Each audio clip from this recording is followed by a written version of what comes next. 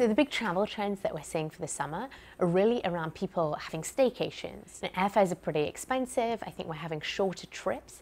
And so more people are staying at home and they're finding things to do in their own neighborhood, um, things that might have been just under their nose that they never discovered. So, you know, whether you're in New York and wanting to um, discover the art, underground art scene in Brooklyn, or you might want to learn how to make cheese at Murray's Cheese Shop, there's all these activities and experiences I think that people are doing closer to home, um, or they're taking weekend trips so somebody who lives in San Francisco might be heading up to Napa, um, you know, to visit some wineries or go olive oil tasting or, or go on a hot air balloon ride. And so that's really something that we're seeing very starkly.